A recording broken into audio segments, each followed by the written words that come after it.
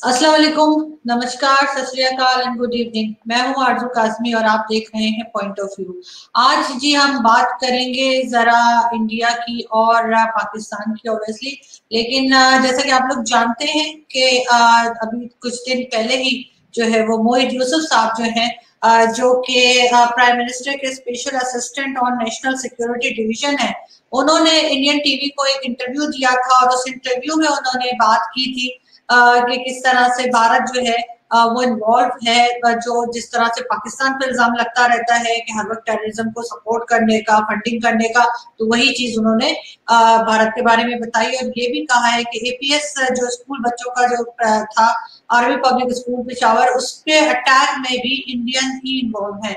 तो ये सारी बातें कर, कर रहे थे वो उस टीवी चैनल पे और इसी तरह के मजीद टॉपिक्स के साथ हम आज आए हैं और हमें जी ज्वाइन किया है वैभव सिंह जी ने जो कि आप जानते ही हैं कि जियो पॉलिटिकल एनालिस्ट हैं और हमें भारत से ज्वाइन करते हैं और बहुत ज़बरदस्त बोलते हैं और बहुत जिसे कहते हैं बढ़ के बोलते हैं। कुछ ढकी छुपी बात नहीं करते। तो हम उम्मीद करते हैं कि आज भी उसी तरह से बात करेंगे। बहुत शुक्रिया वैभव जी कि आपने ज्वाइन किया।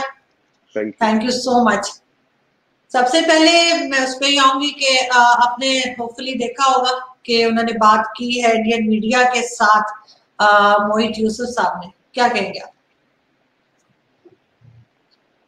उन्होंने एक स्टेट की लाइन जो है वो उन्होंने टो करी है और हम्म। मोहित यूसुफ के बारे में मैं क्या बोलूँ ड्यूअल सिटीजन है अमेरिकी शहरी भी है पाकिस्तानी शहरी भी है हम्म। मुझे नहीं पता कि आप लोग अपने स्ट्रेटजिक जो डिवीज़न है आपकी मुल्क का हम्म। वो आपने एक अमरीकी के हाथ में दे रखा है because he is member of the committee which takes decisions on nuclear policy तो अब ये आपकी और आपकी आवाम के हाथ में है कि क्या आप एक ऐसे बंदे पे ट्रस्ट कर सकते हैं जो कि दोहरी शहरियत रखता हो? और आपके मुल्क का एनएसए यानी नेशनल सिक्योरिटी एडवाइजर बनने से पहले वो US institute of peace USIP वो उसका वाइस प्रेसिडेंट था वो एक हुकूमती इदारा है वो गवर्नमेंट ऑफ़ यूनाइटेड स्टेट्स का इदारा है it is not like any other think tank वो ऐसा कोई थिंक टैंक नहीं है जैसे कि कोई प्राइवेट हो कार्नेगी इंडोमेंट ग्रुप इंस्टीट्यूट की किसी पर्टिकुलर ऑर्गेनाइजेशन का या उससे एनजीओ से जुड़ा हुआ थिंक टैंक नहीं है वो। वो वहाँ की हुकूमत का थिंक टैंक है उसका वाइस प्रेसिडेंट था यानी कि वो एक मुलाजिम था। हालाँकि पाकिस्तान में तो ये बड़ा फ़ेमस है आपके यहाँ राहिल शरीफ जो आपके आर्मी चीफ थे वो आज सऊदी अरबिया की जो हुकूमत है, उसके मुलाजिम है। तो ये मुलाजमत करने का जो कल्चर है, जो नौकरी करने का कल्चर है, दूसरी हुकूमतों के ताबे रह करके, और फिर उसके बाद वो हुबुल वतन भी हो जाते हैं। पाकिस्तान अगर आर्मी ने सर्टिफिकेट दे दिया हो तो तो आज वो हुबुल वतन भी है, वो आपके न्यूक्लियर पॉलिसीज़ भी वो डिफाइन करते हैं, उसके ऊपर मीटिंग्स में बैठते हैं, नेशनल सिक्योरिटी पे बातें करते हैं। तो आपने कहा कि उन्होंने इंडियन मीडिया से बात की। मैं देखिए मैं एक चैनल चलाता हूँ डिफेंसिव ऑफेंस यूट्यूब चैनल चलाना अच्छी चीज़ है। मैं तो ये मानता हूँ कि जो फ्यूचर है वो टेलीविज़न न्यूज़ का नहीं है। ये दस पाँच साल के अंदर ये सारे खत्म हो जाने हैं। ऑनलाइन प्लेटफॉर्म से ही चलेंगे चाहे वो एप्लीकेशन के थ्रू चले या यूट्यूब के थ्रू चले। uh, लेकिन द वायर जो है द वायर की व्यूअरशिप मेरे चैनल डिफेंसिव ऑफेंस का चैनल छोड़ दीजिए। किसी भी जो नॉर्मल स्ट्रेटेजिक का जो चैनल्स होते हैं उनसे भी कम है। तो और वो उस चीज़ को मुझे नहीं समझ में आ रहा, वो सेलिब्रेट कर रहे हैं। आपके यहाँ का जो सो कॉल्ड पाकिस्तान में जो लिबरल मीडिया है, वो सेलिब्रेट करा मैंने। मुबशर जैदी साहब का मैंने देखा ट्वीट वो सेलिब्रेट कर रहे हैं कि भाई बड़ा अच्छा बोला और ये आपको एक नॉन पंजाबी एक्सेंट में इंग्लिश बोलने वाला एनएसए मिल गया और आप लोग मतलब उसी से नहीं फुले समा रहे कि यार इंग्लिश में बात कर ली उसने जो है कि एक ऑनलाइन प्लेटफॉर्म पे इंडिया में तो ठीक है भाई, आप सेलिब्रेट करें। उन्होंने जो जो बातें करी उन बातों में सब्सटेंस क्या था ये सबसे बड़ी चीज़ है। क्या कोई सब्सटेंस था? उन्होंने देखे तीन चार जो मोटी मोटी बातें करी मैं उन पे बात आ जाता हूँ। और फिर ये पाकिस्तान के जो लोग देखेंगे ये वीडियो शायद फिर वो इस चीज़ पर डिसीज़न ले कि वो क्या थी। अब जैसे उन्होंने एक इल्ज़ाम लगाया कि भाई 2014 जो APS army public school Peshawar पे जो हमला हुआ था वो रॉ ने कराया था हमारे पास प्रूफ है। तो भाई छह साल हो गए आपको छह साल बाद प्रूफ मिले। भाई, आपके पास तो दुनिया की नंबर वन एजेंसी है। नंबर वन एजेंसी को छह साल लग गई है पता करने में कि एटीएस जो है आर्मी पब्लिक स्कूल पेशावर पे अटैक जो है, वो रॉ ने कराया था। चले ठीक है, आपको सबूत मिल गए आप तो आप सबूत को आप क्या कर रहे हो? उस सबूत को आप सुपर में सैटेलाइट पे डाल कहीं आपको मार्स पे भेजना है। भाई, वो जो सबूत आपको मिले हैं, वो सबूत आप ले, आप अपनी आप दुनिया को छोड़े, आप अपनी मीडिया पे पब्लिक कर दे। आरज़ू काजमी को दे दे, हामिद मीर को दे दे, अपने किसी बंदे को दे दे, अपनी मीडिया में चलवा दे वो सबूत। और एक्सपोज कर दे इंडिया को। आप नहीं टाइम तो चले हो जाता है। टाइम तो अगर वो कह रहे हैं कि छह साल के बाद मिला है तो चले कोई बात नहीं इस तरह की चीज़ों में टाइम तो लग ही जाता है। लेकिन हाँ उन्हें वो पब्लिक ज़रूर करना चाहिए और बल्कि अगर सही है तो यूनाइटेड नेशन में भी लेके जाना चाहिए। भाई वो यूनाइटेड नेशंस लेके जाए वो कोई और से बड़ा इदारा हो उसके पास लेके चले जाए। मैं कहा ऑब्जेक्ट कर रहा हूँ? मैं कह रहा हूँ सबसे पहले अपनी आवाम को तो दे। अपनी आवाम को दिखाएँ कि भाई देखें ये सबूत है हमारे बच्चों को जो मारा था वो रॉ ने मारा था। दे सबूत। भाई आप अपनी कौम के ऊपर एतमाद नहीं है आपका। आप चाहते हैं दुनिया आप पे एतमाद करे आपकी एलिगेशन पे एतमाद करे। क्यों करेगी भाई? ठीक है पहली चीज़। दूसरी चीज़ ये कि उन्होंने कहा कि अफ़गानिस्तान में थिंक टैंक्स बने हैं वो think tanks as the front use होते हैं बलोचिस्तान में फंडिंग कर टेररिस्ट को फंडिंग करने। अब मैं तो मैं इस बात में क्या मैं बोलूँ? भाई फिर वही बात की दुनिया की नंबर वन एजेंसी आपके पास है। अफ़गानिस्तान आपका बैकयार्ड है। तालिबान हम्म। आपके दोस्त हैं। उनकी फैमिलीज़ आपके यहाँ रहती हैं पेशावर में इस्लामाबाद में। भाई आपके बैकयार्ड से रॉ पैसा इंडिया से पैसा लेके अफ़गानिस्तान जाती है रॉ हम्म। आपके बैकयार्ड से अफ़गानिस्तान से पैसा उठा करके बलोचिस्तान लेके चली जाती है जो आपके घर में है। तो ये आप किसका रिपोर्ट कार्ड दे रहे हैं। मैं मान लेता हूँ ये बात सच है। ये रिपोर्ट कार्ड किसका है? ये किसका फेलियर है? ये आपकी एजेंसी का फेलियर है ना भाई? आप आप बता रहे हैं हिंदुस्तानियों की भाई देखे रॉ जो है वो इस तरह से पैसे आपके यहाँ पहुँचा रही है। तो भाई किसकी फेलियर है? ये आपका फेलियर है आपके इधारों का फेलियर है। तो आप हमें तो आप, बताएँ आप हमें आप एक्सेप्ट कर रहे हैं। आप एक्सेप्ट कर रहे हैं कैसा हो रहा है? मैं कह रहा हूँ कि फॉर द आर्ग्यूमेंट से मैं मान लेता हूँ। ठीक है? हम्म। ठीक है? जो वो कह रहे हैं वो सच सच हो। अगर वो सच भी है तो भी वो फेलियर तो आपका है ना? हम्म। किसका फेलियर है? कि आपके बैकयार्ड से पैसे जो है बिलियंस ऑफ़ डॉलर्स जो है अफ़गानिस्तान से बलोचिस्तान चले जा रहे हैं you are able to do nothing about it दूसरी चीज़ अब देखिए तीसरी बात अब उन्होंने कहा कि असलम अचू जो कि बीएलए का कमांडर है हमारे पास शवाहिद है कि उसका इलाज दिल्ली के एक अस्पताल में हुआ था हमारे। पास रसीदे है जी। ठीक है? पूरी आवाम चिल्लाते चिल्लाते थक गई पूरी अपोजिशन चिल्लाते चिल्लाते थक गई कि जनरल साहब रसीदा कड्डो। जनरल साहब से तो रसीदें निकलवा नहीं पाए आप। ठीक है? आपने दिल्ली के अस्पताल की रसीदें आपने आपको मिल गई हैं।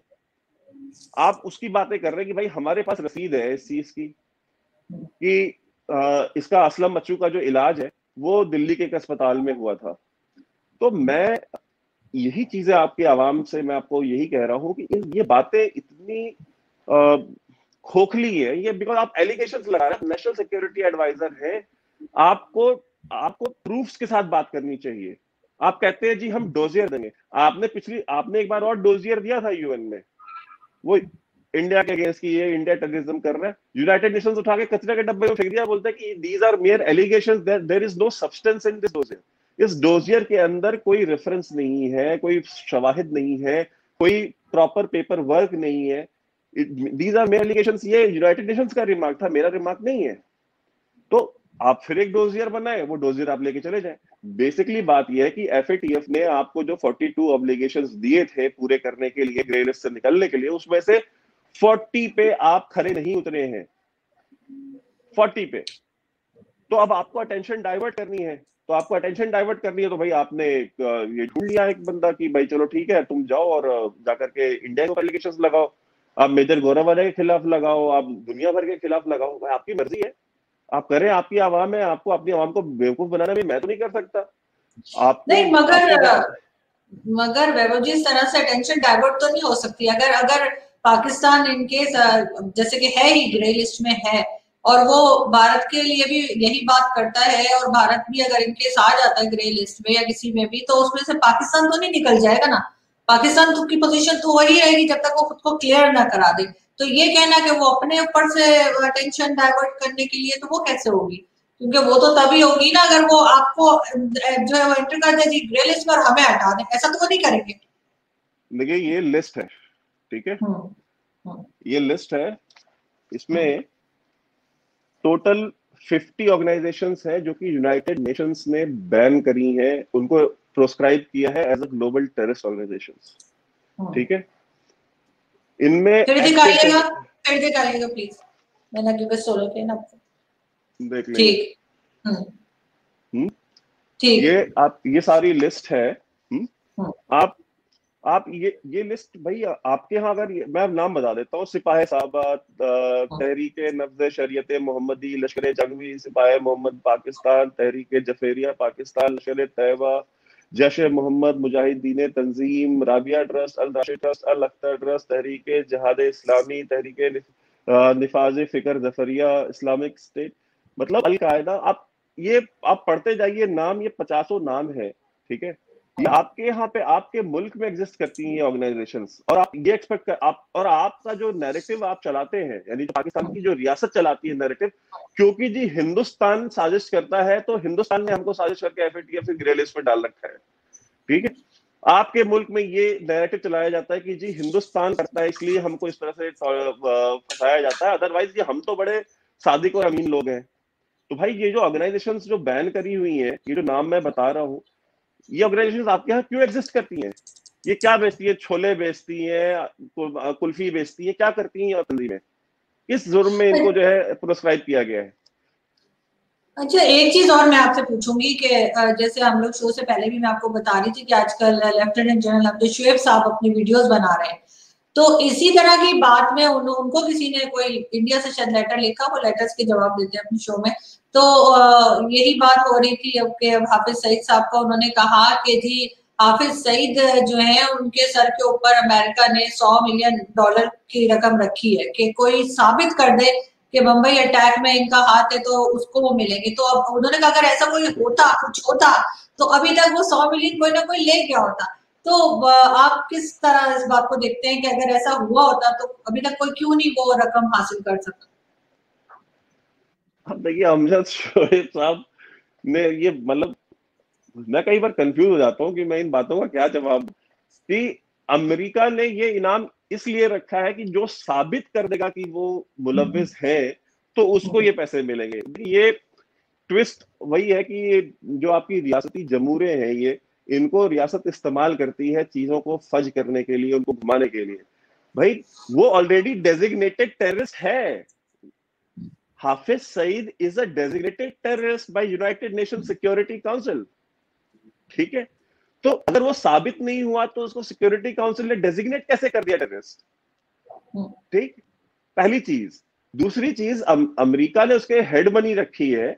उसकी हेड बनी रखी है तो हेड बनी आप इसलिए नहीं रखते कि भाई उसामा बिन लादेन के सबसे जो हेड मनी रखी थी, वो इसलिए रखी थी कोई साबित कर दे कि उसामा बिन लादेन ने नाइन इलेवन का अटैक करा था तो हम उसको दे देंगे। क्या ये बात थी? इसलिए हेड मनी रखी थी। ये देखिए, इस तरह से कॉम को कंफ्यूज किया जाता है। ये ये ये तरीके हैं, ये टेक्निक्स हैं, और ये काम करती है। मतलब मैं नहीं कहता भाई, वो आईएसपीआर को रिपोर्ट करते होंगे शायद, और आईएसपीआर तो उनका तो काम ही यही है कि भाई आपको नैरेटिव बिल्डिंग करनी है तो आप नैरेटिव कैसे बनाएँगे? आप जिस चीज़ को आप डिफेंड नहीं कर सकते, उस पर आप आवाम को कंफ्यूज कर दें। सबसे आसान तरीका सबसे आसान तरीका यही हुआ ना, अगर हम नहीं डिफेंड कर सकते हाफिज सईद को तो हाफिज सईद को लेके आप आवाम को कंफ्यूज कर दें। लोग कंफ्यूजन में रहे, उनको लगे यार ये टेरिस्ट है या नहीं है।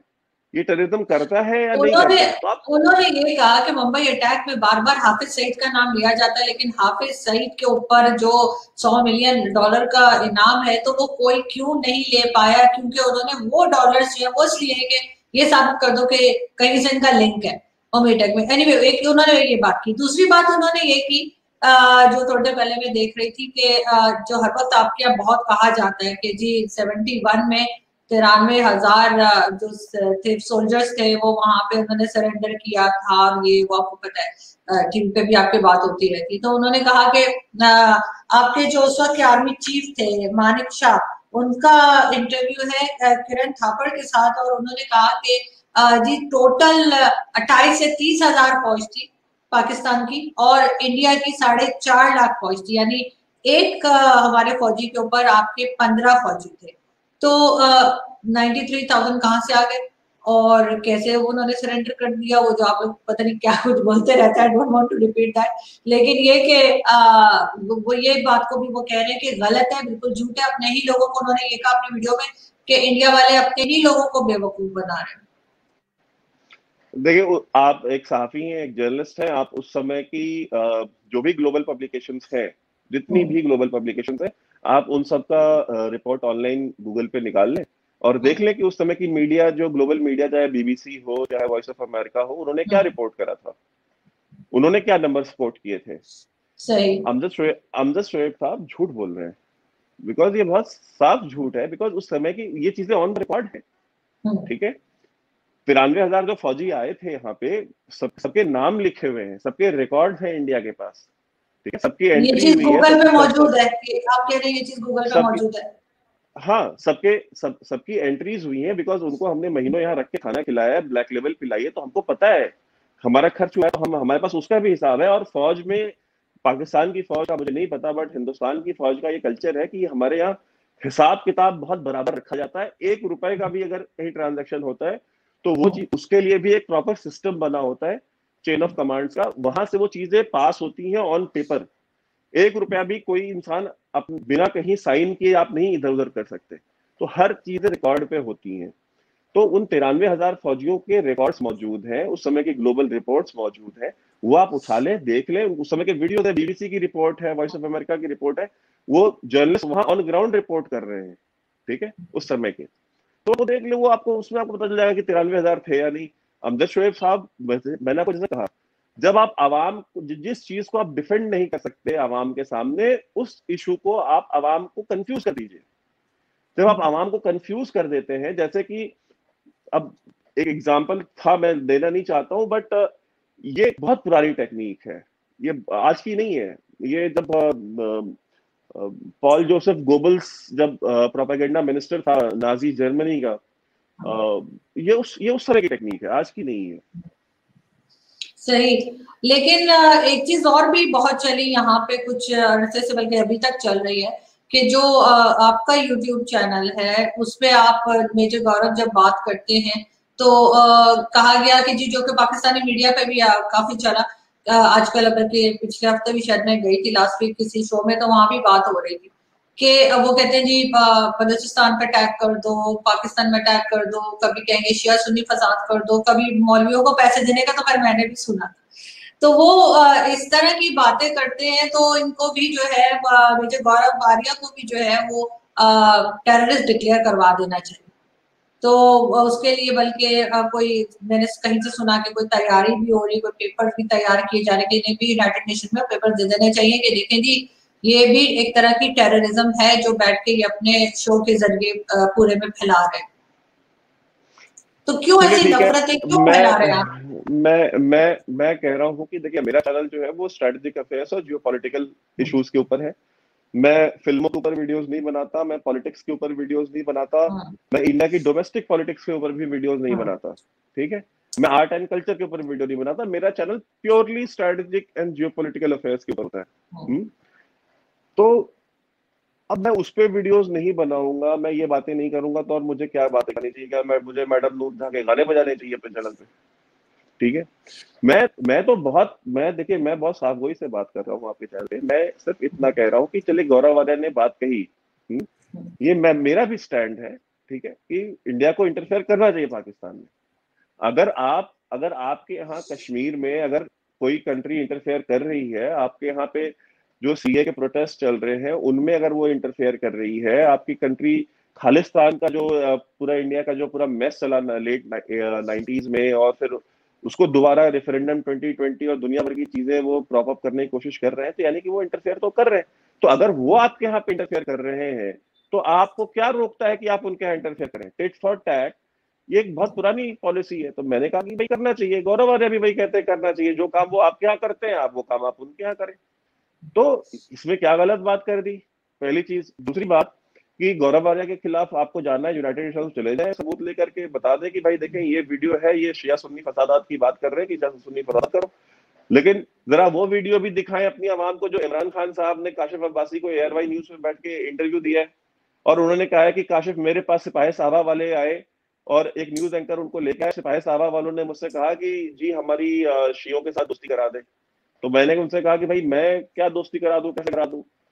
तो उन्होंने कहा कि जी ये इस्टेब्लिशमेंट यानी कि आपकी आईएसआई और पाक फौज जो है वो जब चाहती है वो हमको लड़ा देती है शियों को मरवा देती है हमारे थ्रू और फिर बाद में जो है कि जब उनका काम मकसद पूरा हो जाता है तो फिर अबैंडन कर देते हैं।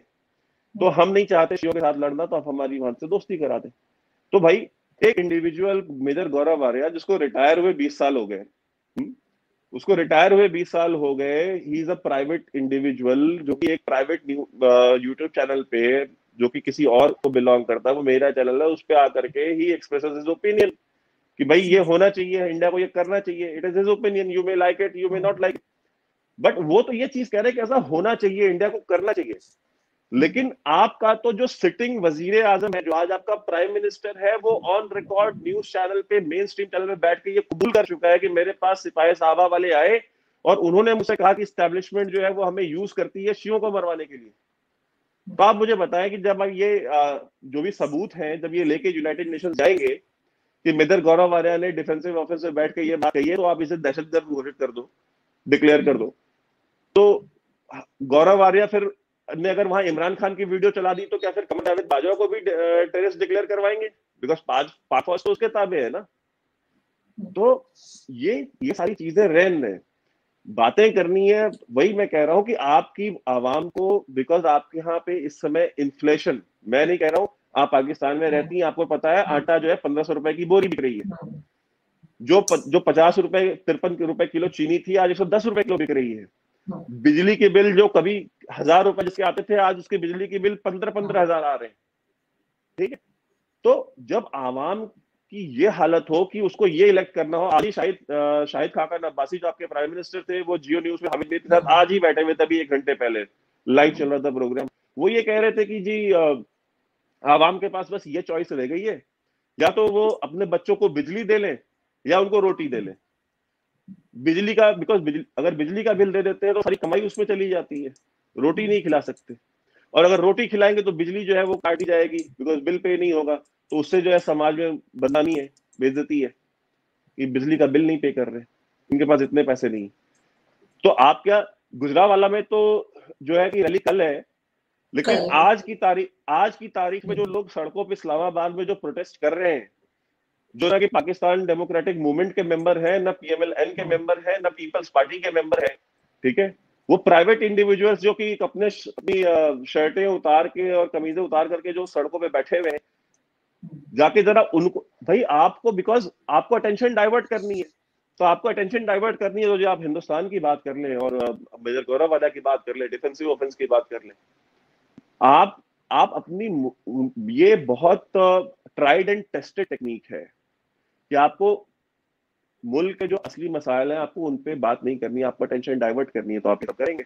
कि जी हमको शवायद मिल गए छह साल बाद मिले आपको सबूत और उसी में नहीं नहीं चले ठीक है हम मुबारकबाद देते हैं मिल गए जाए और बेनकाब करें। मैं तो, तो मेरी गुड विशेष दे रहा हूँ बट उसी इंटरव्यू में उसी नेशनल सिक्योरिटी एडवाइजर ने जब उसको युगर मुसलमानों के बारे में पूछा गया है सिंह के तो बोलता है कि नॉन इशू इस्लामिक मतलब जो आप क्या बोलते हैं, रियासत मदीना, ठीक है? रियासत मदीना का जो नेशनल सिक्योरिटी एडवाइजर है, वो ये कह रहा है कि जो जुगर मुसलमानों को मारा जा रहा है it is a non issue वो कोई इशू ही नहीं है। आपकी आवाम, वो वीडियो मैं चाहता हूँ कि ये जो तारीफें कर रहे हैं, मुबसिर जैदी साहब और ये दुनिया भर के जो भी है, ये, मुझे नहीं पता कि ये किस तरीके से इन चीज़ों को वो टॉयलेट कर रहे हैं just because he speaking good English ठीक है? विदाउट पंजाबी एक्सेंट आप लोग मतलब बिल्कुल आवाम जो लेटी जा रही जैसे कि वो इमरान खान तकरीर करके आ गया था यूनाइटेड नेशन पूरी कैबिनेट एयरपोर्ट पहुँच गई उसको लेने के लिए। लेकिन वैभव जी डुअल नेशनल होना कोई गलत बात तो नहीं है। बहुत से लोग डुअल नेशनल होते हैं तो फिर उसका मतलब मैं नहीं कह, मैं नहीं मैं मैं नहीं कहता कि डुअल नेशनल होना गलत है। पहली बात देखिए हिंदुस्तान में डुअल नेशनलिटी का कॉन्सेप्ट ही नहीं है।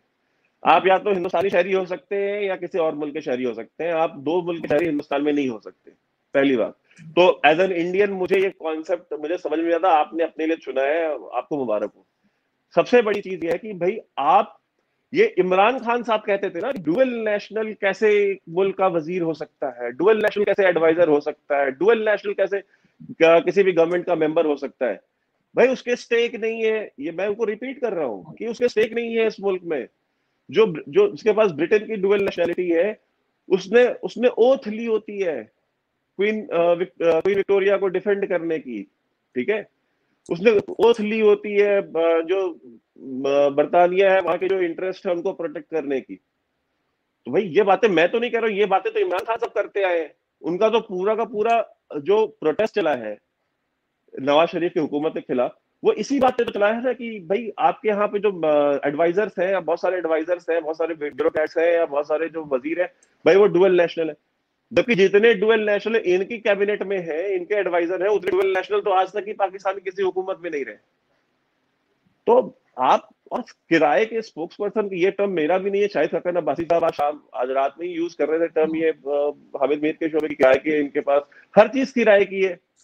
किराए की हुकूमत है क्योंकि खुद तो ली नहीं है किसी और ने ही दी, दी है या दिलवाई है तो किराए की हुकूमत किराए के वज़ीर किराए के एडवाइजर तो पूरा मुल्क किराए पे बिकॉज़ जिनके आपके मुल्क में दो दो पैरल इकोनॉमी चल रही हैं। एक तो फौज की अपनी इकोनॉमी है जहाँ पे वो जूते चप्पल भी बना रहे हैं कॉन्फ्लेक्स भी बना रहे हैं सड़कें भी बना रहे हैं बिजली भी बना रहे हैं पानी भी बना रहे हैं पता नहीं मतलब दूध दही भी बेचते कौन सा ऐसा बिज़नेस है जो नहीं कर रहे हैं? ठीक है? पिज्जा भी तो बना रहे हैं। अब तो पिज्जा वाले भी आ गए तो 20 बिलियन डॉलर का तो उनका अपना खुद का एक एक पैरल इकोनॉमी है। भाई अगर उनकी एक खुद की पैरल इकोनॉमी चल रही है देखें अगेन जो हमारे मतलब हारिस नवाज़, मेरे ख्याल है ब्रिगेडियर हारिस नवाज़ और दूसरे लोग जो है, वो कहते हैं कि रिटायरमेंट के बाद कोई भी बिज़नेस किया जा सकता है, उसमें क्या हरज है अगर हमारे फौजी बिज़नेस करते हैं तो। लेकिन आपके उससे मुझे पिज्जा से याद आया कि आपके ही चैनल पे जो है, वो मेजर गौरव आर्या ने बात की थी, आसिम सलीम बाजवा साहब की, और उसके बाद वो अहमद नूरानी के ऊपर भी एक तूफ़ान मचा था उस रिपोर्ट का तो उसको लेकर भी ये कहा कि आप लोगों ने कहा कि पाकिस्तान में बहुत से ऐसे लोग मिल जाते हैं जो थोड़े से पैसे देकर और आपको जो है डिटेल्स दे सकते हैं। ये भी आपको नहीं लगता कि आप अपने चैनल के ज़रिए कोई अच्छी बात भी कर सकते हैं कुछ टेंशन कम भी कर सकते हैं बजाय इसके कि दोनों कंट्रीज़ में और ज़्यादा नफरतें और ज़्यादा स्ट्रेस और टेंशन बढ़े? तो अच्छी बात नहीं हो सकती? देखिए इससे अच्छी बात और क्या हो सकती है कि हम आपके यहाँ पे आपके मुल्क को जो लूटने वाले हैं हम आपको उनका नाम पता दे हाँ। रहे ठीक है? इससे अच्छी बात भाई आपका जो वेलविशर होगा सिर्फ़ वही आपको बताएगा कि भाई आपकी एक्चुअल प्रॉब्लम क्या है। ठीक है? आप अब आप नशा करते हो और बहुत ज़्यादा नशा करते हो और कोई इंसान आए आपके पास बैठे और बोले कि नहीं नहीं आप जो करते हैं ठीक करते हैं आप ऐसे ही किया करें। वो आपका वेल है या जो बंदा आए और आपको दो थप्पड़ लगाया और आपको उठा के लेके जाए और बोले कि तुम रिहैब जाओ तुमको रिहेबिलिटेशन की ज़रूरत है ये नशे की लत छोड़ो। ठीक है? वो आपका वेल है। तो भाई हम हम पहले वाले वेलविशर नहीं है हम दूसरे वाले वेलविशर है। हम आपको बता रहे हैं कि भाई ये आपके यहाँ लोग हैं ये आपकी फौज है ये आपके रिटायर्ड ऑफिसर है। अब नया पा, नया पाकिस्तान हाउसिंग सोसाइटी जो है उसका चेयरमैन और उसका जो सेकेंड इन कमांड है जो इंचार्ज है वो कौन है? एक मेजर जनरल है सर्विंग और एक सर्विंग ब्रिगेडियर है। अब आप मुझे बताएँ कि अगर आप सर्विंग ऑफिसर्स को नया पाकिस्तान वो रियल एस्टेट का भाई उसमें पचास हज़ार या पचास लाख घर बनने पता नहीं कितने घर बनने तो भाई उसमें पैसा है बहुत। भाई वो तो फिर कोई फौजी ही हेड करेगा ना उसको। एक ब्यूरोक्रेट कोई सीनियर आपका बाईस ग्रेड का ब्यूरोक्रेट तो नहीं कर सकता। भाई बाईस ग्रेड से ऊपर तो कोई ग्रेड नहीं होती पाकिस्तान में ठीक है? तो आप कोई ब्यूरोक्रेट उसका हेड बना देते लेकिन आपने नहीं बनाया नहीं नहीं नहीं, इसमें तो अरबों रुपए इन्वॉल्व है। ये तो फिर तो फौजी हेड करेगा इसको। तो भाई अब फौज, क्या मतलब फौज का काम है कि वो मकान बना करके दे आवाम को? ठीक? वो भी टैक्स पेयर के ही पैसे से बनाएगा ना। ऐसा तो नहीं है कि वो, जो इमरान खान की खाला के घर से पैसे आएँगे और उससे जो है कि वो बनेंगे, वो पचास हज़ार या पचास लाख मकान। वो तो टैक्स पेयर के ही पैसे से वो मकान बनने हैं। तो भाई इतना जब पैसा इन्वॉल्व हो तो वो हर काम फौज जब खुद कर रही है। तो ये मौके हमको फौज ही तो दे रही है ना। हम फौज ये सारे काम आपकी बंद कर दे हम बात करना बंद कर देंगे मैं अपनी दुकान बंद कर दूँगा शटर गिरा दूँगा पे चलूँगा। फिर मैं कह दूँगा नहीं भाई ये तो सादिक और अमीन लोग हो गए पाक फौज वाले। हम्म? अब हम तो आपके ख्याल से आपके ख्याल से भारत में सब कुछ परफेक्ट चल रहा है? लेकिन एक वीडियो आपकी और आई थी बिल्कुल नहीं चल रहा है बिल्कुल। देखिए बिल्कुल भारत में कुछ भी सब कुछ परफेक्ट नहीं चल रहा। है उसका रीजन है कि every democracy has its flaws ठीक है? हम्म। अमेरिका की क्या अमेरिका परफेक्ट चल रहा है? अमेरिका में क्या होमलेसनेस नहीं है? अमेरिका में क्या ऐसे लोग नहीं जिनके पास अपना अपनी छत नहीं है सड़कों पर जीते? भाई हर मुल्क के अपने मसाइल हैं। हिंदुस्तान में भी गरीबी है गुर्बत है इंडिया के चैलेंजेस हैं। बट इंडिया का जो सिस्टम है वो सिस्टम काम करता है। ठीक है? एक कॉन्स्टिट्यूशन है. Everybody is accountable to that constitution आप इंडिया में कोई चीज़ अनकॉन्स्टिट्यूशनल नहीं कर सकते. जिसको कि 370 का जो एब्रोगेशन भी हुआ है, वो पार्लियामेंट से हुआ है. ठीक है? वो ऐसा नहीं हुआ कि एक दिन नरेंद्र मोदी सो के उठा, उसने बोला कि नहीं, आज से खत्म हो गया. या इंडियन आर्मी चीफ खड़ा हुआ, उसने बोला कि हटाओ सौ खत्म हो गया. ऐसा नहीं है. पार्लियामेंट में बिल इंट्रोड्यूस हुआ, उसके ऊपर बात हुई डिबेट हुई होम मिनिस्टर बैठे, उन्होंने उसके ऊपर बात करी ऑपोजिशन ने जो है उसको अपोज किया, बहसे हुई, और लेकिन वो हुआ पास पार्लियामेंट से, उसमें यही चीज़ है, यही चीज़ पाकिस्तान में मिसिंग है, कि भाई गुर्बत होना, गरीबी होना करप्शन होना, ये मुल्कों में होते हैं, अमेरिका में भी है, रशिया में भी है यूके में भी है, लेकिन एक सिस्टम होना चाहिए, और वो सिस्टम डेमोक्रेटिक होना चाहिए कॉन्स्टिट्यूशनल होना चाहिए। तो हम ये, हमारा जो इख्तलाफ है आपके साथ, वो इसी इसी मसले पे है।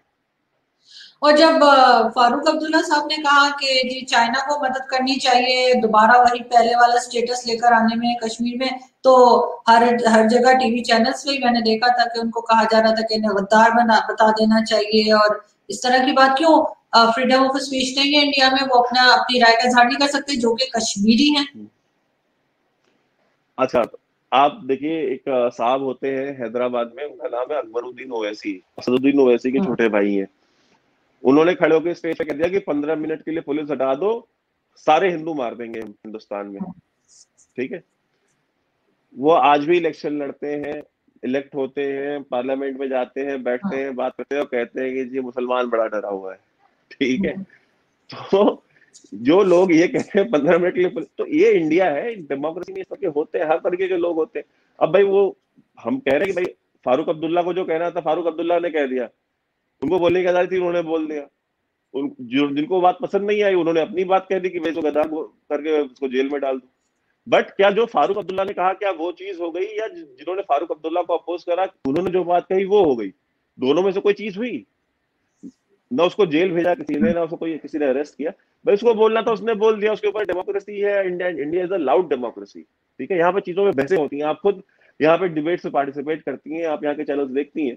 India is a very loud democracy यहाँ पे हर रोज कोई ना कोई इस तरह की कोई ना कोई बात कर देता है लेकिन इसका मतलब ये नहीं है कि आप उसके ऊपर उठा करके अब मोहसिन दावड़ और अली वज़ीर के ऊपर साल भर पहले दो साल पहले खा कमर मैसेकर जो हुआ था उसमें उसको कहा उनको कहा गया था कि भाई इन्होंने जो है कि फौजी मार दी है और इन्होंने जो आवाम मरी थी जो कि सपोर्टर्स हाँ। मरे थे ये खुद इन्होंने मारे हैं मोहसिन दावड़ और अली वज़ीर ने आज उनको कोर्ट से रिलीफ मिल गया और कोर्ट ने कहा कि नहीं इनका कोई लेना देना नहीं है इनके पास कोई गन। उसकी वीडियोस मौजूद है बिकॉज़ देर इज़ एविडेंस तो आप मुझे बताएँ ना हिंदुस्तान में किसी ने फारूक अब्दुल्ला को गोली तो नहीं मार दी इसलिए? लेकिन आप लोगों ने ओवैसी को अकबरुद्दीन अकबरुद्दीन ओवैसी को ये कहने के लिए हम सारे हिंदू मार देंगे किसी ने गोली तो नहीं मार दी? आपके यहाँ तो एक बंदा अगर किसी क्रिश्चियन वुमन को जो ब्लास्फेमी फॉल्स ब्लास्फेमी केस की जो आ, केस लड़ रही हो उसके ऊपर इल्ज़ाम हो उसका मुकदमा लड़ने के लिए आप क्या सिटिंग गवर्नर को गोली मार दी? तो आप हम मैं यही कहता हूँ कि आप हमें दर्श जो है टॉलरेंस का फ्रीडम ऑफ़ एक्सप्रेशन का पाकिस्तान बिल्कुल न दिया करे। आपके यहाँ तो मुँह खोलने पे गोली मार देते हैं। लेकिन वो वो एक वो एक जैसे कहना चाहिए एक तरह के जनूनी लोग हैं जिन्होंने मारा था वो कोई गवर्नमेंट ने या कोई किसी इदारे ने नहीं मारा था सलमान तासिर साहब को। अब इस तरह के के सलमान तासीर सलमान तासीर साहब का जो खूनी था ठीक है हाँ। उसके ऊपर फूल बरसाए गए थे लाहौर हाई कोर्ट में। याद है आपको उमंदर जब वो आया था पेशी पे वो फूल किसने बरसाए थे? आपके यहाँ के वकीलों ने हाई हाई कोर्ट के लॉयर्स ने वो वो भी क्या आपके यहाँ हाई कोर्ट के जो लॉयर्स है वो सारे जुनूनी लोग हैं? नहीं एक्सट्रीमिज्म तो है पाकिस्तान में उससे तो इनकार नहीं किया जा सकता। नहीं एक्सट्रीमिज्म नहीं है। एक्सट्रीमिज्म आपके सोसाइटी का इंटीग्रल पार्ट है। आपके यहाँ पे जो गवर्नमेंट स्कूल्स में मैं प्राइवेट स्कूल्स की बात नहीं कर रहा गवर्नमेंट स्कूल्स में जो आपके यहाँ बच्चों को पढ़ाया जा रहा है जो हिंदू फोबिया क्रिश्चियन फोबिया जो आपके यहाँ स्कूलों में पढ़ाया जाता है कि हिंदू गंदा होता है हिंदू अपनी औरतें जला देता है हिंदू ऐसा होता है। मतलब आप मैं आपको लिंक आप आप तो खुद है वहाँ पे आप देख लीजिएगा government high school Punjab Punjab government के स्कूल्स में जाके देख लिया मतलब पाकिस्तान स्टडीज़ का पाकिस्तान स्टडीज़ का मतलब ही हिंदू फोबिया है। उसमें होता ही कुछ नहीं हिंदू फोबिया के सिवा तो नहीं मैंने कभी नहीं पढ़ा नहीं नहीं जी मैंने मैंने ऐसा कभी नहीं पढ़ा। उर्दू उर्दू उर्दू की सुनिए उर्दू की उर्दू के जो आपके यहाँ जो बुक्स है उनमें पाकिस्तान स्टडीज़ में हिस्ट्री में ऐसा कौन सा सब्जेक्ट है जिस सब्जेक्ट के अंदर कहीं ना कहीं किसी ना किसी तरीके से अलग अलग क्लासेस में हिंदू फोबिया न डाला गया हो? क्या मैंने नहीं पढ़ा। गवर्नमेंट आप आप गवर्नमेंट स्कूल में पढ़िए। है तब आप क्या बात कर रही है? मैं गवर्नमेंट स्कूल की बात कर रहा हूँ। गवर्नमेंट स्कूल के सिलेबस में है। मैंने मैंने आज आज भी चले मैं कल फिर बुक्स चेक करूँगी गवर्नमेंट स्कूल्स की जाके। मैं खुद देखूँगी और फिर मैं आपको बताऊँगी कि मैंने ऐसा नहीं सुना।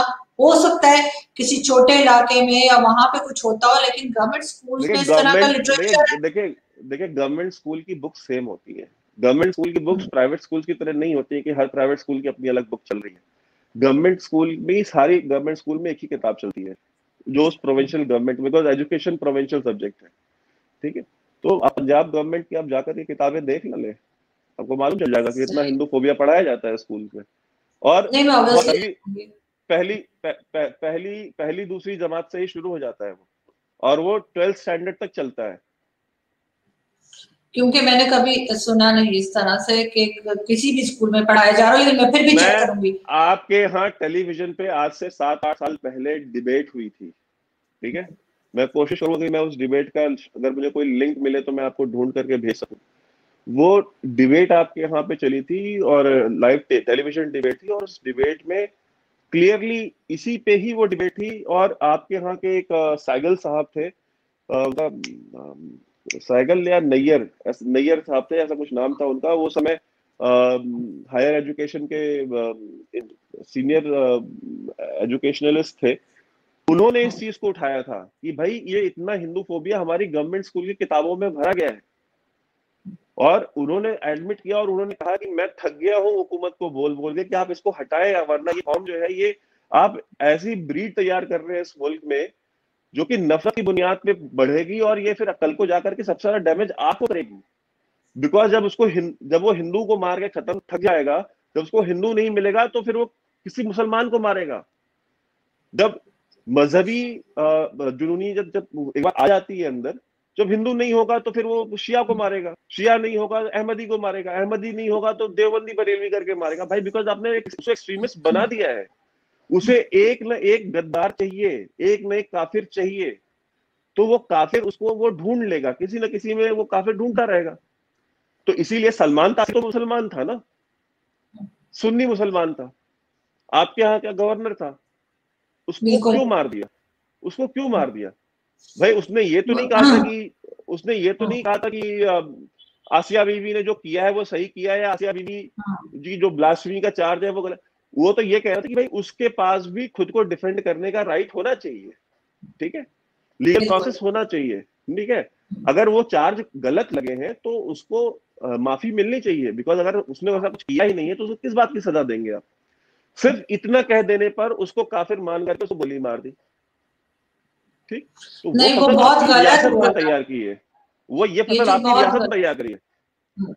बिल्कुल, नहीं, ये चीज़ बहुत गलत हुई है और ये चीज़ अभी तक चल रही है और इस तरह के कई और केसेस भी हुए हैं पाकिस्तान में जिसपे हम लोग बोलते रहते हैं, लेकिन कोई सुनता नहीं, वो एक अलग बात है। लेकिन अगेन बैक टू कश्मीर की हम थोड़ी सी बात करते हैं कि आप जैसे वहाँ की जो मेन लीडरशिप है, बहुत सारे लोग, अभी बल्कि वहाँ की प्रेसिडेंट को भी आपने कोई एक साल के बाद मैं देख रही थी ट्विटर पे मैं न्यूज़ चेक कर रही थी एक साल के बाद वो बाहर आप लोगों ने निकलने दिया है। तो जब आप, जो मेन कश्मीरी हैं, उन्हीं को बोलने नहीं देंगे, उन्हीं की लीडरशिप को बात नहीं करने देंगे तो वो कैसे बताएँगे कि वो क्या चाहते हैं? भारत और पाकिस्तान तो लड़ते रहे। उनका, जबकि मैं मैं पर्सनली ये समझती हूँ कि ना भारत को बोलना चाहिए और ना पाकिस्तान को। कश्मीरियों को खुद डिसाइड करना चाहिए कि वो चाहते क्या है। वो किसके साथ रहना चाहते हैं या वो इंडिपेंडेंट रहना चाहते हैं। लेकिन, जो मेन वहाँ के लीडर्स हैं, उन सबको तो आपने बंद कर रखा है।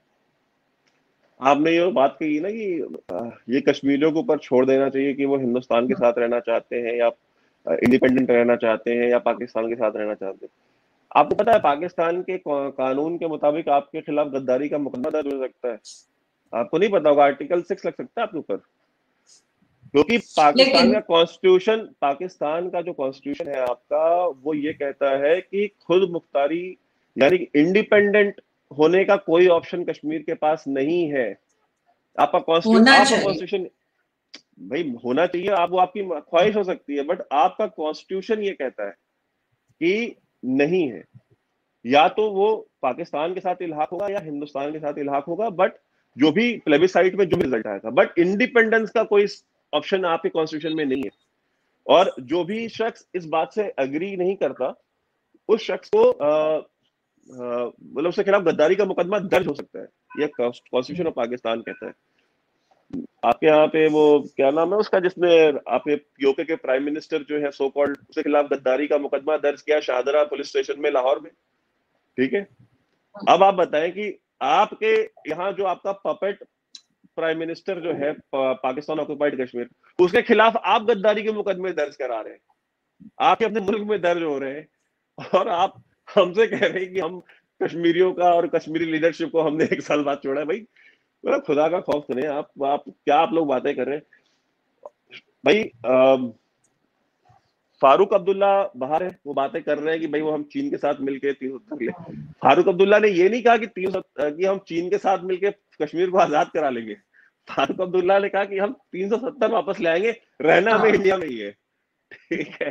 ये दिन से कि हम आज़ाद हो हम आज़ाद हो जाएँगे। तो ये देखे चीज़ें we must always learn to read between the lines उनका जो बेटा है, उमर अब्दुल्ला, वो तो अमेरिका में है, वो ऐश कर रहा है वहाँ पे। वो तो वो उनसे पहले बाहर निकल गया था। He took a flight and he went to united states भाई वो रहते हैं कोई उनके जानने वाले वहाँ, उनके साथ। तो वो वहाँ पे ऐश कर रहे हैं। बाबू जी यहाँ पे बातें कर रहे हैं, हम पिछहत्तर ले आएँगे चाइना के साथ मिलके। और महबूबा मुफ्ती को भी छोड़ दिया है। तो महबूबा मुफ्ती भी अब है बातें करें भाई उनको भी जाना हो अमेरिका लंदन जाना हो चली जाए। देखिए इनमें से जाना किसी को नहीं है कहीं। ये सारे रहेंगे यहीं पे। बिकॉज़ इन सबको पता है कि जो इंडिपेंडेंस यहाँ मिल रही है जरा पीओके के वज़ीर आज़म ने कुछ बोला भी नहीं और उसके खिलाफ गद्दारी का मुकदमा हो गया। अगर जो बात फारूक अब्दुल्ला ने कही है अगर ये बात पीओके का वज़ीर आज़म कह देता या कोई लीडर कोई लीडर कह देता तो वो तो गायब हो जाता।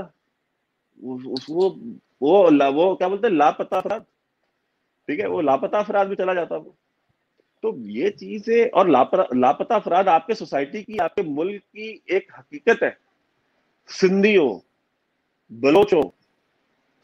हो, पश्तून हो, गिलगित बल्तिस्तान के लोग हो। ऐसी कौन सी कौम है जिस कौम में लापता अफराद नहीं है?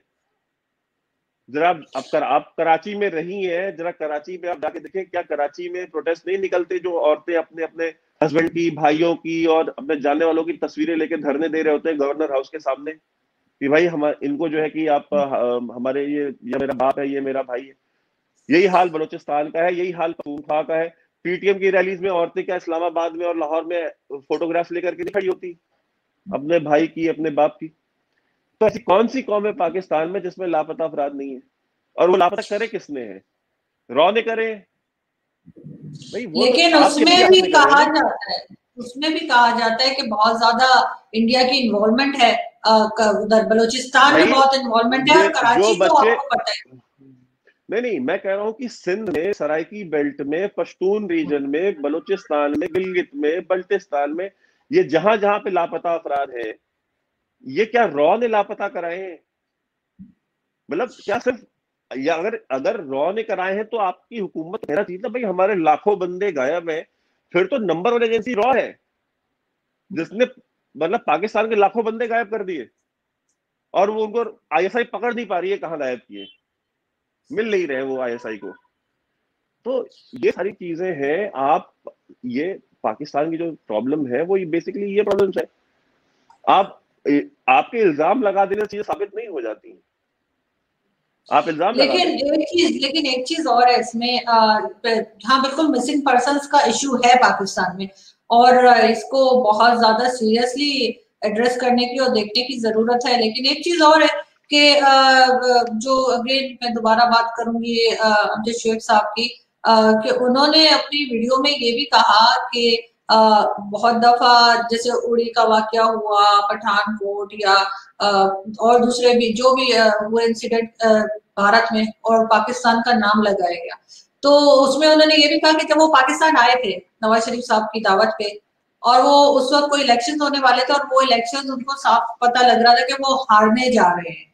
तो उससे बचने के लिए, उन्होंने अटेंशन डाइवर्ट करने के लिए वो सब कुछ उन्होंने खुद ही करवाया भारत में और नाम पाकिस्तान का लगा दिया। क्योंकि इंडिया में जब भी इलेक्शन होते हैं तो वो जीते या हारे पाकिस्तान के नाम पे ही जाते जबकि पाकिस्तान में इस तरह का कोई इलेक्शन नहीं होता जो हम, जिसमें हम भारत को बुरा भला कह के कोई इलेक्शन जीता हो। तो वो यही कह रहे थे कि जो वो वाक्य जिनको आप लोग कहते हैं जी मोदी जी कहते हैं जी पाकिस्तान ने ये कर दिया, वो कर दिया। तो वो असल में भारत ने खुद ही कराया था ताकि मोदी जी दोबारा से पावर में आ सके। ये ये अमजद शेख साहब की वीडियो का मैं बता रहा हूँ। अमजद शोएब साहब से पूछ ले कि ये नारे कौन से इलेक्शन में लगे थे कि जो मोदी का यार है गद्दार है गद्दार है? ये कौन किस मुल्क के इलेक्शन में ये नारे लगे थे? हम्म। क्या अफ़गानिस्तान के इलेक्शन में लगे थे? क्या ईरान के इलेक्शन में लगे थे? क्या हिंदुस्तान के तो पाकिस्तान के इलेक्शन में लगे थे ना? और ये नारा मारा किसने था? ये आपके handsome prime minister Imran Khan साहब ने मारा था उनकी पार्टी उनकी जमात कंटेनरों पे खड़े होकर के पूरे इलेक्शन कैंपेन के टाइम पे यही नारा मारते रहते जिंदाल जिन पहली बात वो उसका नाम जिंदल है। जिंदल को जिंदाल बना बना करके कि जिंदाल जैसे कुलभूषण जाधव को कुल कुलभूषण जादेव ठीक है? वो वो वो कोई इशू नहीं मुझे भी बहुत से लोग आर, आरज़ू बोलते हैं आपकी डिबेट्स में और मैं कुछ मैं, नहीं कहती। मैं मैं मैं मैं वो बात ही नहीं कर रहा हूँ। मैं कह रहा हूँ कि जो मोदी का यार है गद्दार है जिंदाल का यार है गद्दार है जिंदाल के साथ मीटिंग हो रही थी और क्या खुफिया मुलाकातें हो रही थी और पाकिस्तान के खिलाफ साजिशें चल रही थी और मोदी को हिंदुस्तान ये पाकिस्तान बिना पा, वीज़ा के कैसे बुला लिया? ठीक है? ये ये ये सारे इश्यूज़ ये सारे इश्यूज़ कौन से इलेक्शन में चल रहे थे? ठीक है? भाई, आपके यहाँ क्या इमरान खान ने रोटी, सड़क, पानी की बात करी थी? या गद्दारी की बात करी थी? उसने तो गद्दारी की बात करी ना कि मोदी का यार है गद्दार। है हम्म? तो ये तो पहली बात पाकिस्तानियों को ये कहना बंद कर देना चाहिए कि उनके इलेक्शन में जो है इंडिया, नॉन इशू होता है, इंडिया कोई इशू नहीं होता है।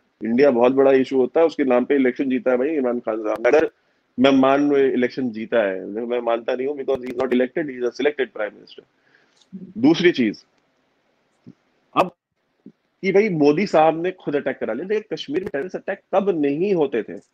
ये पिछले एक साल में कम हुए हैं जब से हमने आर्टिकल 370 हटाया इतना पीसफुल कश्मीर तो मैंने एज ऑब्जर्वर आज तक नहीं देखा था। कि कश्मीर में इतना पीस हो केवल इतनी कम अटैक्स हुए हैं और टेररिज्म इतना कम हुआ हो। मेन चीज़ क्या है कि कश्मीर में अटैक्स हमेशा होते रहते हैं। हम्म, मतलब आर्टिकल 370 हटने से पहले तक। वो हर साल वहाँ पे हर साल कौन सा साल था कि हर दूसरे महीने तीसरे महीने तो एक जब हर दूसरे तीसरे महीने ही अटैक हो रहा था तो इलेक्शन के पहले भी हुआ। वो वो एक कंटिन्यूइंग प्रोसेस ऐसा तो नहीं कि उससे पहले पिछला अटैक जो है टेरिस अटैक वो कई दस साल पहले हुआ हो, ठीक है, या पिछले इलेक्शन में हुआ हो, उस इलेक्शन से पहले वो तो अटैक्स वहाँ हर तीसरे चौथे महीने हो रहे थे। भाई आईएसआई ने भी तो नौकरी करनी है ना। वहाँ पे जो लोग नौकरी कर रहे हैं, उनकी भी अपनी ज़िम्मेदारी है, उनको भी अपना के दिखाना है कि भाई मैंने क्या करा है, क्या नहीं करा है। तो ये सारी चीज़ें एक रियलिटी है और इंडिया जैसी सोसाइटी में आप ये चीज़ें एक्सपेक्ट बिकॉज़ इंडिया में अलग अलग एजेंसीज हैं अलग अलग इदारे हैं जो अपना काम करते हैं। पाकिस्तान की तरह नहीं है कि एक आईएसआई है which overlooks overshadows every other agency जो F I A NAB judiciary सब कुछ अकेले मैनेज कर रही हो। इंडिया में ऐसा नहीं है। इंडिया में अलग अलग एजेंसीज है। अगर एक एजेंसी में मान लो कि अगर किसी एक एजेंसी ने ये करा भी दिया होता, ठीक है तो कोई ना कोई दूसरी या तीसरी एजेंसी को उसके बारे में मालूम चल जाता और वो इन्फॉर्मेशन बाहर आ जाती। इंडिया में आप ये कर नहीं सकते हैं। मतलब ये आ, मैं आपको बता रहा हूँ ये ऐसा नाइटमेयर हो जाएगा जो कि कोई हैंडल नहीं कर सकता फिर।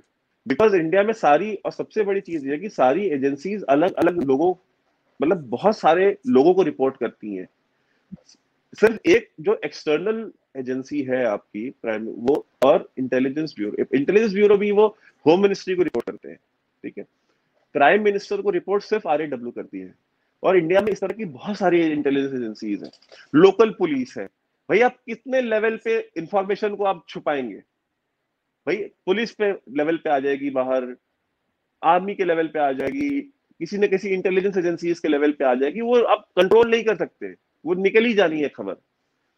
और जिस तरह का मीडिया है इंडिया में वो न्यूज़ मतलब ये रिस्क कोई कोई भी पॉलिटिकल पार्टी कभी नहीं ले सकती। क्योंकि उनको पता है कि कभी ना कभी ये चीज़ बाहर आ जाएगी और जब वो बाहर आ जाएगी तो फिर it will be a nightmare मतलब गवर्नमेंट्स गिर जाएँगी।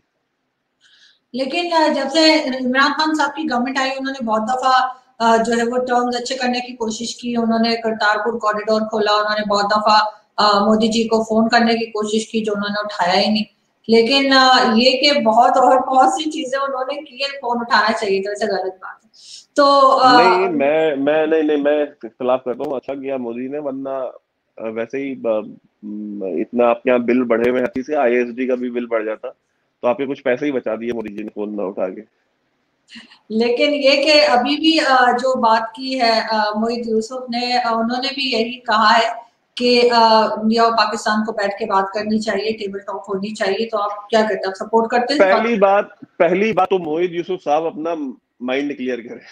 उन्होंने इंडिया को दहशतगर्द डिक्लेयर कराना या इंडिया के साथ दोस्ती करनी। ठीक है अगर आप अगर आपके पास शवाहिद है कि इंडिया पाकिस्तान में टेररिज्म कर रहा है तो आप इंडिया से दोस्ती क्यों करना चाह रहे हैं? फिर तो आपको आ, मतलब ये क्या स्टेटमेंट है मुझे नहीं समझ में आ रहा एक हाथ में आप ये कह रहे हैं कि भाई हमारे पास ये देखें सबूत इंडिया हाँ। टेररिज्म हमारे बच्चे हमारे आर्मी पब्लिक स्कूल में ठीक है?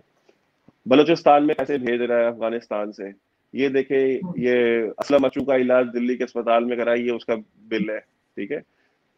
दूसरा हाथ आप कह रहे हैं कि नहीं साहब आप हमारे साथ दोस्ती करें हम आप बैठे बात करें। भाई आप आगे बढ़ना चाह रहे हैं ना आगे बढ़ना चाह रहे हैं ना उन सारी बातों को भूल कर आगे बढ़ना चाह रहे हैं। भाई क्यों भूल रहे हैं? आपकी पाकिस्तानी आवाम की जाने गई हैं। आप मतलब क्या इतनी सस्ती है पाकिस्तानी आवाम की जाने की भाई आप उसको भूल के हिंदुस्तान से दोस्ती करना चाहते हैं? मतलब शर्म का मकाम है ये। ये आपकी आवाम को सोचना चाहिए। आपने किन लोगों को मुंतखब कर दिया है? किन लोगों को लाके बिठा दिया है? जो आपकी आपकी जानों पे सौदा कर रहे हैं। तो ये कह रहे हैं कि हम भूल जाएँगे आपने जो हमारे बच्चे मार दिए आपने बलूचिस्तान में मार दिए पख्तून मार दिए ये मार दिए हम सब भूल जाएँगे आप आए हमारे साथ दोस्ती लेट्स मूव फॉरवर्ड नहीं तो कब तक ये चीज़ कब तक चलती रहेगी? ये, ये को मारना कब तक चलता रहेगा? ये एहतसाब कमीशन जो बनाया है इमरान खान साहब ने हम्म। मैं चाहूँगा एक एहतसाब कमीशन इंडिया के खिलाफ बनाए और एहतसाब करे इंडिया का। जाए यूनाइटेड नेशंस में जाए अमेरिका में यूके में साउथ अमेरिका पूरी हम्म। दुनिया में घूमे और सबूतों को ऐसे फ्लैश करें कैमरों के सामने कि ये देखिए ये हिंदुस्तान दहशतगर्दी कर रहा है हमारे यहाँ। ये उसमें आपका उसमें आपके वीडियोस भी शामिल हो। हमारे वीडियोस भी शामिल करें उसमें एक्सपोज कर दें पूरे हिंदुस्तान को आप। ये ना करें कि हम्म। दोस्ती दोस्ती नहीं नहीं आप सबसे पहले एहतसाब करें। सजा दिलाए हिंदुस्तान को। उसके इंडिया को ब्लैक लिस्ट कराए एफ़ में। जैसे आजकल आपकी आईएसपीआर कर रही है ट्विटर पे ट्रेंड चला के कि hashtag blacklist India जैसे लगता कि एफ़ हम्म। ट्विटर को देख करके ब्लैकलिस्ट करती है कंट्रीज़ को। तो ये सारी चीज़ें जो है ये आप करें। आज मैं एक वीडियो प्रीमियर कर रहा था अपने चैनल पे। उसमें पाकिस्तानी आईएसपीआर के जमूरे आकर के स्पैम कर रहे थे। उसमें लिख रहे थे लाइव वीडियो में कि ब्लैकलिस्ट हैशटैग ब्लैकलिस्ट इंडिया अब इनको बेवकूफों को ये नहीं पता कि लाइव यूट्यूब वीडियोस में हैशटैग काम नहीं करते। ठीक है? बट ठीक है कर रहे आपका मतलब है मेजर गौरव आर्या को भी टेररिस्ट डिक्लेयर करवा दें। करा दे? करा दे? हाँ। बिल्कुल। क्योंकि ट्विटर पे अक्सर लोग लिखते हैं आप दोनों को कि आप लोग वो शोले के शोले फ़िल्म के जे और वीरू जैसे हैं तो अब आपकी बातें सुनकर मुझे ठीक ही लग रहा है कि आप उनके साथ वही कर रहे हैं जो जय ने वीरू के साथ किया था।